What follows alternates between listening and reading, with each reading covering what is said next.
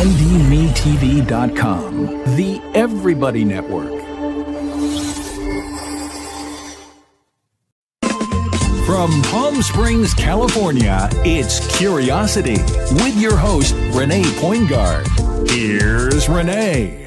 Hi, I'm Renee Poingard. I'm the host of Curiosity. I am so excited about our next guest, Colette. She's an actress, a singer, and also an independent employee. So we're going to find out all about her. So let's start off, first of all, married? Divorce. Divorced. How long have you been divorced? Um, three years. Three years, so it's fairly new. Mm, Fairly new. How you doing? I'm great. What have you discovered about yourself since you've been free? Hmm. I've discovered that I can do a lot of things that I thought I was too old to do or that had kind of passed me by. Uh-huh. You know, when you're married and you're kind of on one path and there's some hopes and dreams that you might have. And you're like, oh, well, those was fine when I was a kid or before I got married. And now I'm like, oh, wait. The world is my oyster. I can like really reach back and grab some stuff. So I'm finding out that I'm a lot stronger than I thought I was. Good. that I can just basically do whatever I want and that I have a lot of opportunities still available to me. So how long were you married? 20 years. Whoa, 20 years. Yes. So up until a certain time in your life, maybe a little bit over 25, maybe under 30, Mm-hmm. you had a bug for acting? I did. I uh-huh. acted a lot in high school, even in uh-huh. college. I was in like performing groups and stuff. I, am a singer too, so I kind of put the acting aside and was focused on singing and church and ministry, which I still do all of those things. But you know, you just kind of think, oh, that's childhood stuff, and mm-hmm. you know, I'm just I'm mature now. I'm a mom, raising my kids. You know, being the wife, the mother, the sister Owens in the church, and just kind of mm-hmm. focused on that stuff. Didn't really think about Wow. acting and singing outside of that arena. Okay, so I got to go back. I'm going to let you know I'm really nosy now, Colette. Okay, so now you're married. How old are your children? My children are 33, 30, and 22. Well, let me correct you. You don't have babies. No. You have young adults. Have All right. grown folks. wow, you look good. Thank you. You look very good. Thank you. So let me ask you, you're being mother, you're being Sister Owens. Mm-hmm. And in the back of your mind, you're thinking, I want to be an actress? No, What were you thinking? I was very content to do what I was doing. I think being a mom is amazing.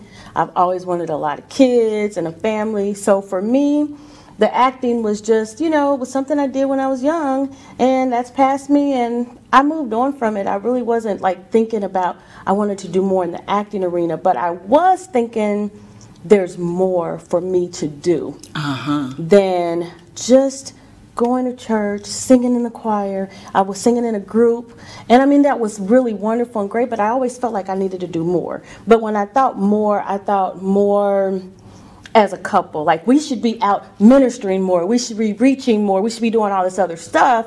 But it wasn't necessarily just that I wanted to be an actress. I just felt like there was more to life than what I was doing. I'm gonna get back to that, but right Mm-hmm. now I'm gonna get back to that because I'm, I'm still being nosy. So let me ask you a question: Your children Yes. and you, what type of relationship do you have? Absolutely close. What's absolutely close? My kids talk to me a lot. We talk almost every other day. Uh, my son and I talk probably every day. Oh, great. My daughters, maybe like I said, every other day. I think that we're close, at least from my perspective, we're super close. Um, I always well, one way to tell how were they with that divorce? they were devastated. Were they pro? Mom do it. Mom don't do it. Well, um, my divorce was my husband's idea. So they were very supportive in terms of, oh my God, we can't believe this is happening happening, and how are you, and what are you going to do? And you know, my the girls were gone, so it was just my son and I in the house.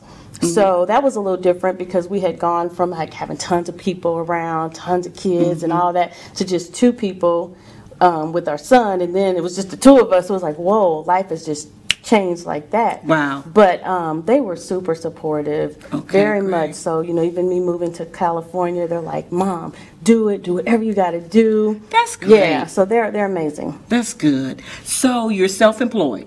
Yes. And what do you do as your occupation? So my occupation, I work for a company, Melaleuca. I do health and wellness products. Oh, Yes. so health and wellness products far as vitamin supplements, facials, we everything? everything from A to Z because the whole goal is to help you to translate um, your house hold from all the toxic chemicals. So, you know, cleaning products, what we put on our body, the food and supplements, all of that. So do you like have a station that you do, or do you go to people's homes? Are you on the um, on- online ordering? What do you do? Online ordering mm-hmm. mostly. So I get customers and they just set up their own online store and they shop. Okay, give me a pitch. Tell me something that you think I need to make my house more well. Give me a pitch. I would ask you, what do you clean with? Mm-hmm. Do you use National products? I use Clorox. Okay, so I want you to know that Clorox and bleach and all those things are chemicals that were created in World War II as war warfare. Mm-hmm. They are not chemicals that are supposed to put on your body. And let me show you what actually happens when you use Clorox and you inhale those fumes because there's a study out that shows that people that in, just clean women that clean their home just once a week are more likely to get cancer and as if they had been smoking five or six packs of cigarettes a day. Wow, I can see that you know your trade very well. Very proud of you, Colette. Mm-hmm. Thank you. Hanging in there, doing what you want to do, self-employed, wonderful relationship with your children. What could be better than that? So Mm-hmm. Not we're going to find out though what your friend said about you. Why you're curious to know what they feel about you is one thing, but we're going to be mm, back. We're going to go take a commercial. We're coming back. We're going to talk to Colette. And I think you're going to be surprised about what Colette friends have to say about her. Please come back.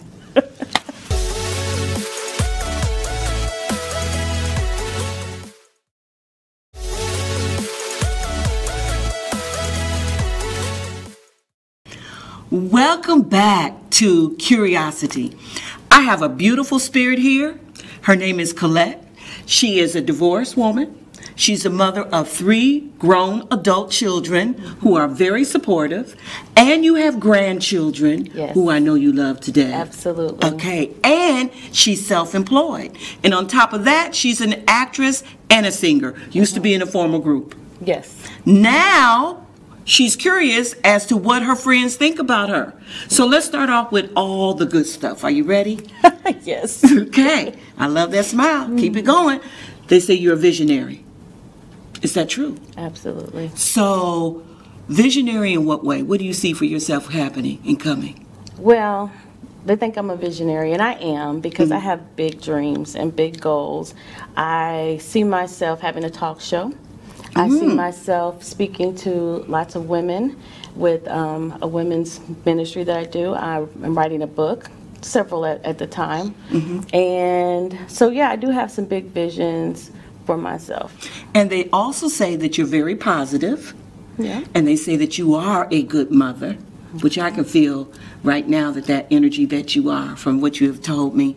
And they also said that you are a good writer. So you're writing a book. What are your books about? So I have a book called Message to My Children mm-hmm. 20 Things That I Want to Tell You Before I Die. Mm. And, Why message to my children? well, you know, I feel like when you're raising your kids, mm-hmm. you're putting out fires all the mm-hmm. time. You know, it's no, when they're little, no, no, no, don't do this, don't do that. But it's like immediate stuff to keep them out of danger. You're just trying to raise them up.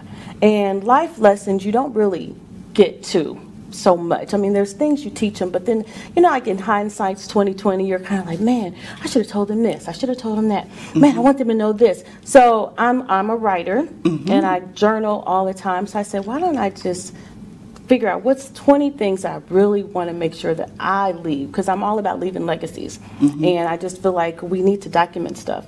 So that's kind of where that came from. In the second book? It's called My Red Sea Experience. And based on the podcast that I'm working on and all that, talking about some trials and tribulations. So and- you are busy, busy, busy, busy. Yes. Good heart. They say you have a very good heart. Okay. Mm-hmm. I believe that to be true.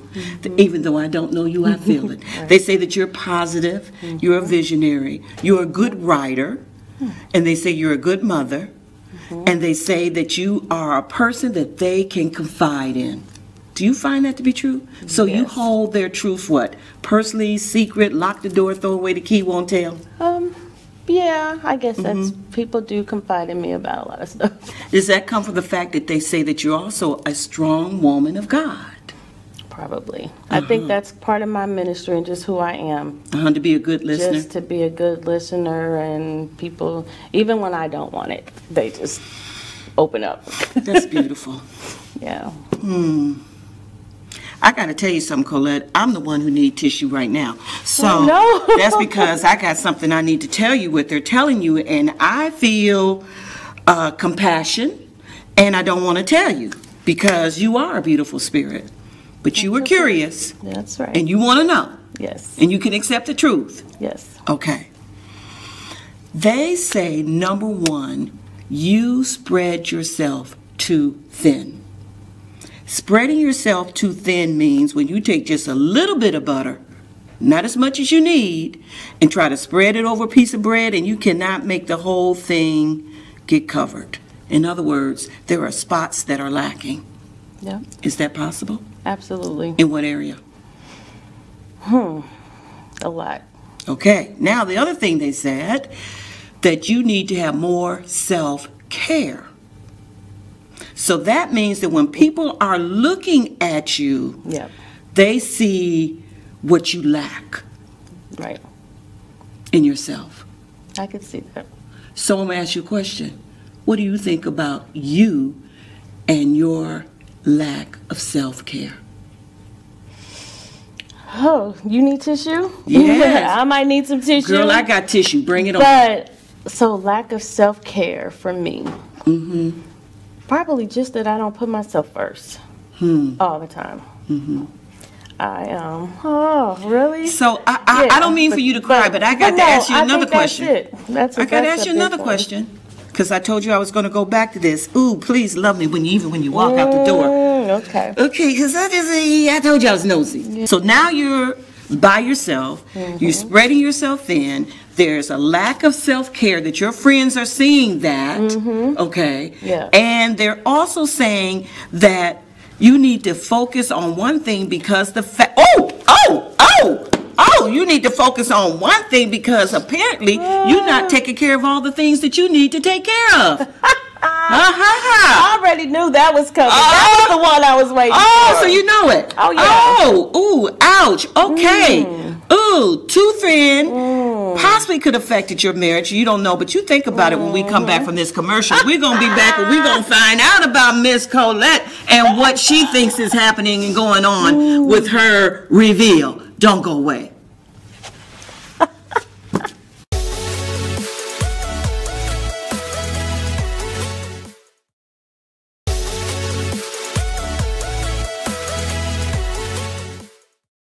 Hi, and welcome back to Curiosity. I'm here with my guest Colette.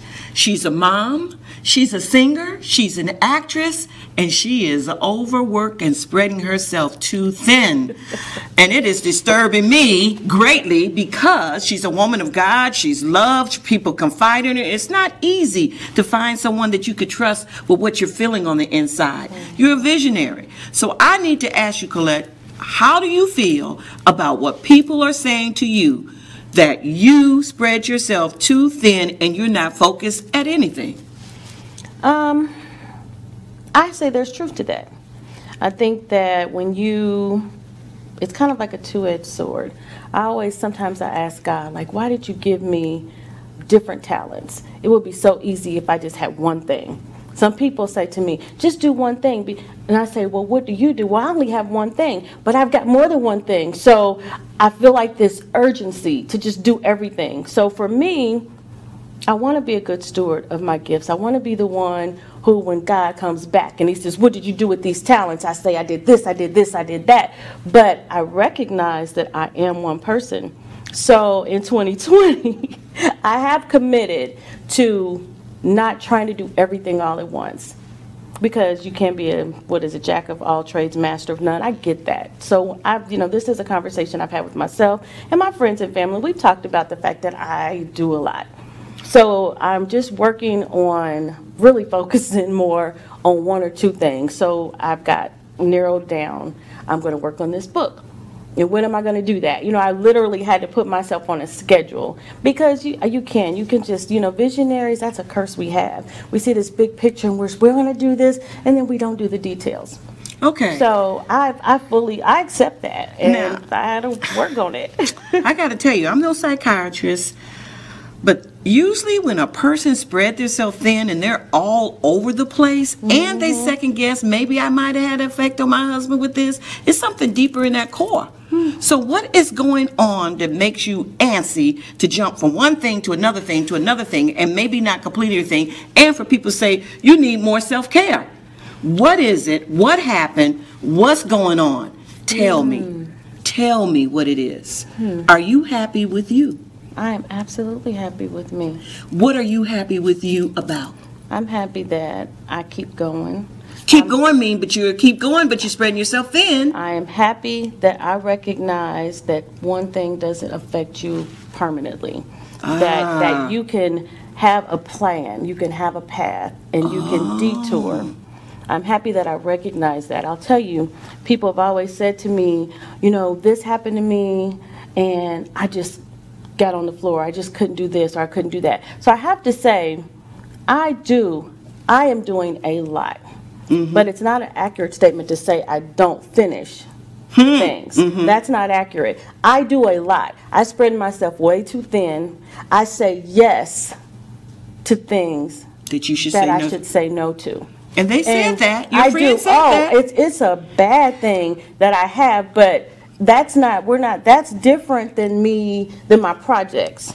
Colette, So usually when people do one thing after another it's because they don't want to be still. Because to be still means that you got to listen to something. So Mm-hmm. what are you fighting? What are you running from? What do you not want to hear in your life? Something is going on.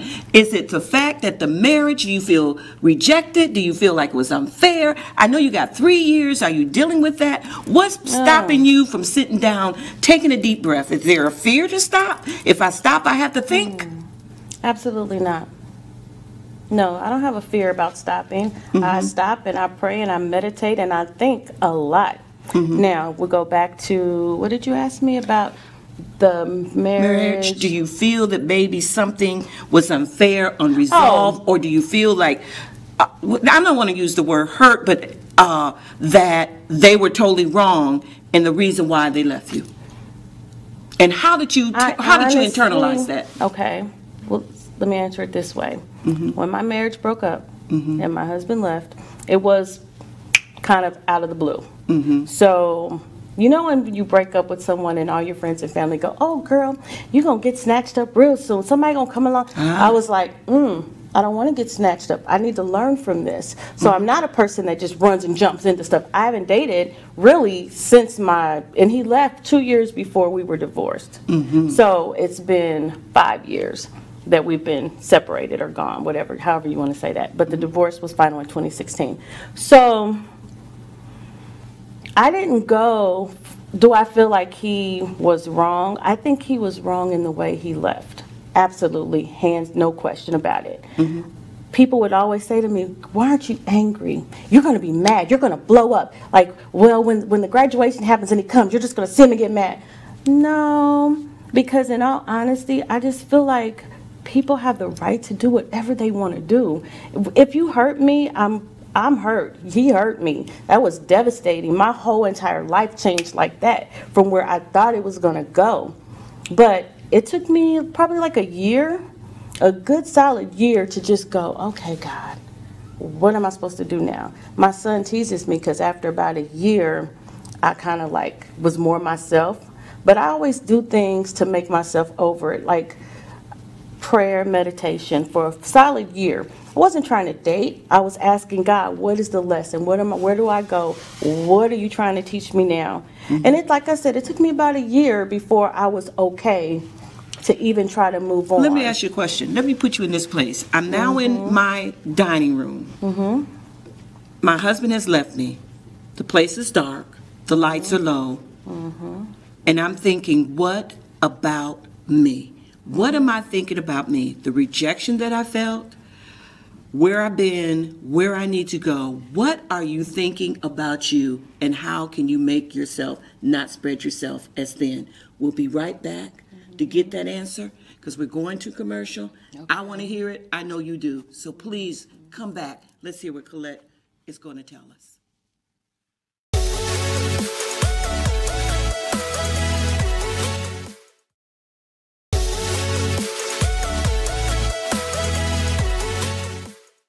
Welcome back.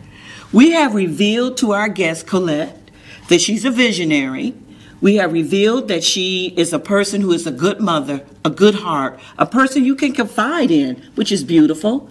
But we also learned that you spread yourself too thin, that you don't accomplish things that you really set out, that you don't know how to say no to people, which affect you. And also, there's a lack of self care.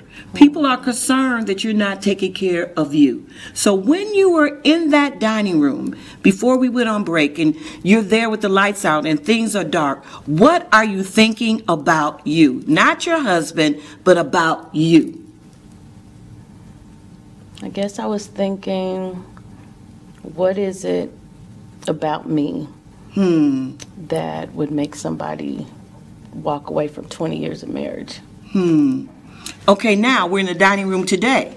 You're in the dark. We know that you pray. We know you meditate. But what is happening in that dining room right now? So in my dining room now, mm-hmm. I am thinking that I'm grateful. Hmm. I'm thinking that I'm blessed. Hmm. And I'm thinking that I'm a warrior. Okay, Miss Warrior, so I got a question I'm for you. Do you believe what your friend said to you is true, or do you deny it? Yes or no? Yeah, I think it's true. Okay, so what you level. gonna do about it? Um, I'm working hard to take better care of myself, to take time out for myself, to actually do for me and not just spend so much time ripping and running, doing for others, and accomplishing things that don't lead me to where I'm trying to go. Mama, I need you to watch my kids for me so me and my husband can go away. Are you still busy writing your book? You're gonna say what? Um, Yes, I am still busy writing my book. Uh-huh. Mom, right now, what are you doing? Do I hear water? Where are you with water? What's going on? I need you to come by and help me clean my house. You're gonna say what? I'm going to say no, but typically, really, see, I took that away. I'm smart because I know I have a problem, so I moved to California. So my kids are in Indiana. Okay. So You already I- started. I'm, I've started. I separated. I, I'm focused on me. Uh-huh. Now I will admit that they do call me and ask me a bunch of stuff, and I still have sometimes try to answer things and fix things from a distance. But I'm I'm getting better about Okay, that. now my last question, because I told you I was nosy. Uh, you looking for anybody? Have you got there yet? I'm open, definitely, right now. Yeah, Mm-hmm. I, but I just I haven't met anybody. Hmm. But honestly, I want. There's some things I just want to accomplish.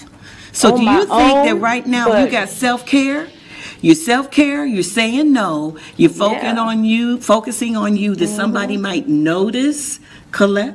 They very well could notice Colette, Okay, Colette. and I'm open to somebody noticing Colette. Okay, so we know number one that not only you're a visionary, you're an actress, you're a singer. People can confide in you, even though you're going to do less. No, can't do that. Yes. That you're going to work on your book. Yes, Okay, only one at a time. I'm only working On on one, at, a time. right okay, now, yes, right now. You're going to continue to work with your spa, wellness, make Yes. everybody else feel better. Yes. You're going to dedicate some time to that. Yes. Mm-hmm. Is what you're telling me. All right. And what does the new Colette look like? The new Colette is independent, taking care of herself, and handling her business on her own. That sounds like a, a plan to me, That, Colette. that's that's who I am now. What did you learn from this lesson? Are you glad that you Um, were curious? I'm glad that I was curious. It is actually exactly what I thought. My friends are really open and honest with me, so they pretty much say that a lot. So you recognize the less care for yourself. Mm, not so much to care for myself, but the all over the place, because, you know, part of who I am, you know, I'm an Aquarius and we're all over the place. We're, we're creative. So most of my friends are not. Most of my friends are not in the industry of entertainment. They are very blank, blank, blank, blank. My family is very, a lot of So they don't understand you So and your diversity and everything that you wanna do. Exactly. So I They can't get with that. When I, look, I was a real estate broker and for 20 years, very successful. Mm-hmm. And my parents would always go, girl, when you, so you gonna get a job? I'd be like, but I got agents that work for me. I, I, I, you know, so I've always gone against the grain. Okay. And that's just part of who I am, but they are still correct in a lot of, you know, we can always do better. And I know I can do better, especially when it comes to taking care of me. So being curious has worked out for you. it has worked out. It has sealed the deal of what you already knew, yes. what you already heard. Yes. Colette, I am so glad that you accepted what your friends have to say. Mm-hmm. So, what are you going to do about the change? What is your commitment? Um, I'm put myself on a schedule to help me stay focused so that I can get things done as they come along and not just be all over the place. My biggest problem is organization, mm-hmm. and I know I need to do that. So I'm planning and I'm focused on doing just that. Being more organized and taking better care of myself. Mm, that's what I wanted you Yeah, to hear. definitely time out for me. Uh-huh. Doing some things that's just relaxation. You ready for that? Absolutely. It's mm-hmm. overdue. I think it is overdue too. Yes. So I'm glad to hear that, and I'm glad that you're going to make that positive change. Absolutely. Anything else you want to let me know, or what you feel? Um, no, you know, I'm just happy that my friends love me and are honest about what they think. Sometimes you need that thing. window of somebody else's eyes, so I'm okay with that. That's a good thing. Thank you for being on the show. Thank you for Thank you for joining us. Make sure you come back next week with curiosity to find out what your friends think about you. It probably would be a good thing. Yeah. Yep. I'm glad that way. Oh, give me a hug. girl. Aw. It's gonna be all right.